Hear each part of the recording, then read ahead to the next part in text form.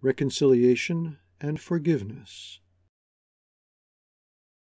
Never forget, when you have been injured, that your duty is not only to refrain from retaliating, not simply to retire upon your dignity and self respect, not to leave the offender severely alone, but to seek him out, to reason with him, to pray for him, to exhaust all your powers of persuasion, all the resources of gentleness and love.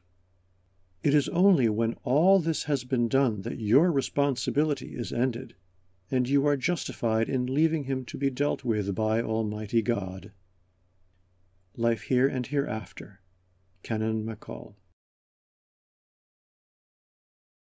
Remember, he said, that if you forgive him, you become changed yourself.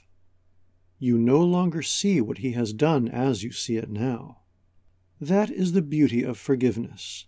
It enables us better to understand those whom we have forgiven. Perhaps it will enable you to put yourself in his place. The Mettle of the Pasture, James Lane Allen. Could a greater miracle take place than for us to look through each other's eyes for an instant? Thoreau.